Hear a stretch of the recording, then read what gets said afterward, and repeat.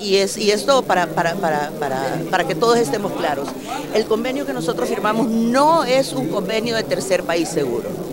Es un convenio a donde ambos países vamos a trabajar en un plan operativo para garantizar la seguridad, los derechos humanos de nuestros migrantes y los migrantes también que están pidiendo eh, asilo en Estados Unidos. Ahora bien, ese convenio no significa nada. Nosotros nos tenemos que sentar con personas técnicas de los Estados Unidos y armar entre ambos países y conciliar un plan operativo eh, del cual nosotros como El Salvador tenemos que estar, seguros de que podemos y vamos a implementar todos los compromisos que establezcamos.